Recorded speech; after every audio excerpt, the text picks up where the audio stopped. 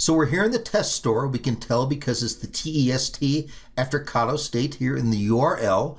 We have defined our product. We have defined the categories that product is in, and we've added attributes to that product.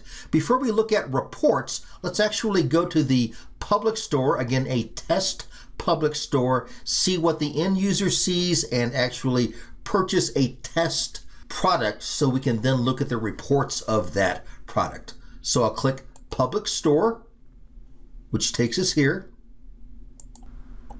That takes us to this page. At any point, we can go into the administration side by clicking administration.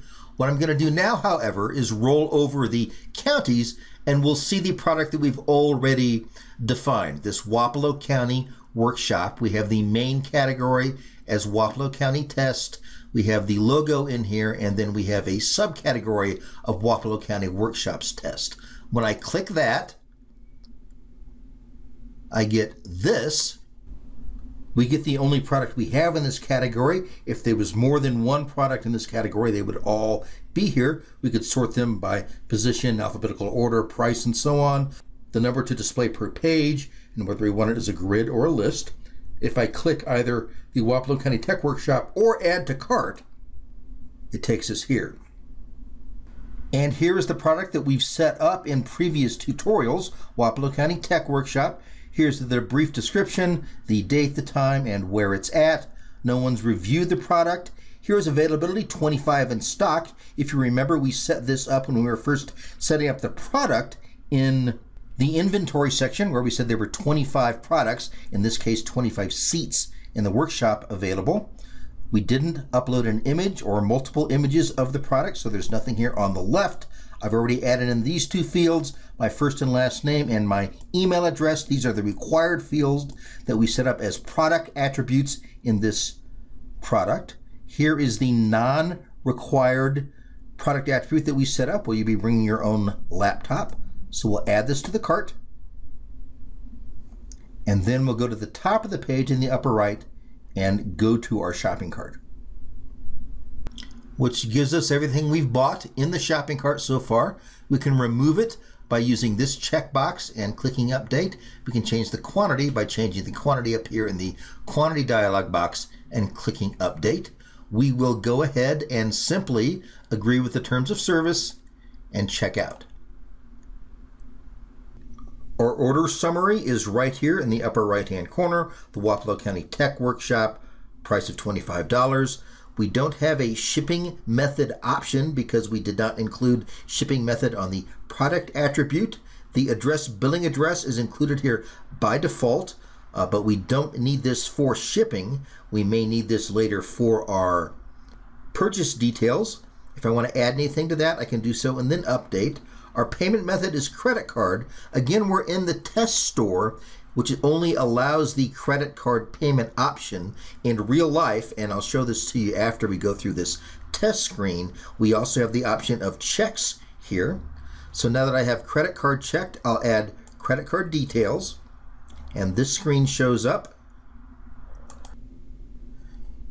The cardholder name is Jeffrey Wood. The card number for the test store you can simply use a 4 followed by 15 ones for a total of 16 numbers. The expiration date just has to be after the present, so this is uh, February of next year. The uh, CVV is 999. We're not going to bother saving the credit card number. We'll click Next. And we've now bought the product in the test store. We're now here in the real store. There's no test after the Colo State here in the URL. I'm going to buy an actual product here. I'll go to counties. I'll go to Douglas County, Colorado Master Gardener. And here we have a page very similar to the one that we set up for our own tech workshop. I'll add this Master Gardener Apprentice training fee to my cart. I need to add my name right here. This is again an attribute that was added to this product. This is a product attribute asking for the first and last name. So with the name and the add to cart, I'll check out much as I do with any other online store by clicking my shopping cart in the upper right hand corner. My quantity here is two. I'll change that to one and update my shopping cart. I'll continue down. Here's a spot for a discount code. Again, this is a product attribute that can be added uh, to your product in the dashboard. I'll agree with the terms of service and check out. Here, as with the last example, our order summary is in the upper right here. The address is pre-populated with what the CSU extension store knows about me through my registration. And here's the main reason we came here. In the test store, we only had the option for credit card, but here in the actual store, we have check and money order as an option. And when I click that, I get this message. This tells me where to send it. I'll click continue. And I'm not going to click confirm because I'm not actually joining the class. But that is how to work with a check or money order in the CSU Extension online store.